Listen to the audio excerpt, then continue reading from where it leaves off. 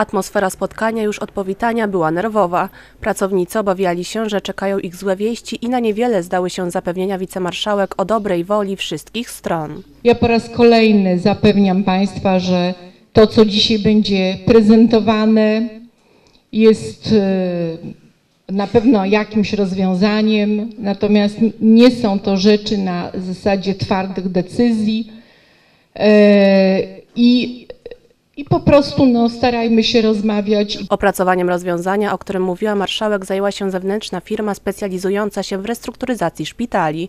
Przygotowany przez nią program naprawczy zakłada powstanie nowych oddziałów, przeniesienie hospicjum z Kościerzyny do Dzierżążna oraz oszczędne umowy na żywienie i sprzątanie.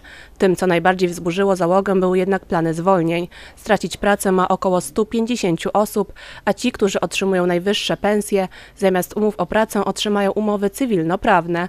Zlikwidowane mają zostać stanowiska zastępców ordynatorów oddziałów i zastępców pielęgniarek oddziałowych. Zdaniem obecnego na spotkaniu prezesa firmy doradczej to bolesne, ale konieczne warunki przetrwania kościerskiej placówki. Mamy pomysł na Kościerzynę, który Państwu podpowiadamy oczywiście do akceptacji.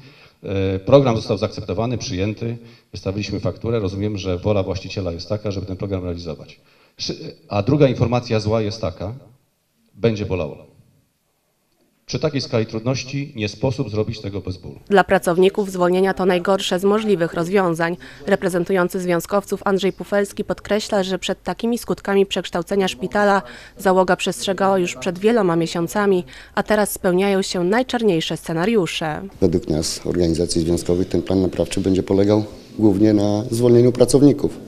Już na wstępie przecież było powiedziane, że, że podstawą tego planu naprawczego jest zmiany umów o pracę na umowy kontraktowe cywilnoprawne.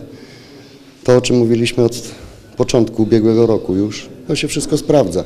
W tym momencie, jeżeli wpuści się wszystkich pracowników szpitala w umowy cywilnoprawne na kontrakty, no to w tym momencie około 200, 200 do 250 pracowników tego szpitala straci pracę.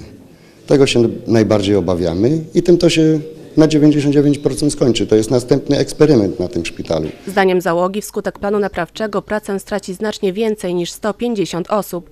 Pracownicy wątpią też w zapewnienia wicemarszałek, że placówkę uda się wyprowadzić na prostą w ciągu dwóch lat, zwłaszcza, że kościerski szpital nadal generuje straty, które w skali miesiąca wynoszą około 1,5 miliona złotych. Już w piątek wrócimy do tej sprawy w szerszym kontekście.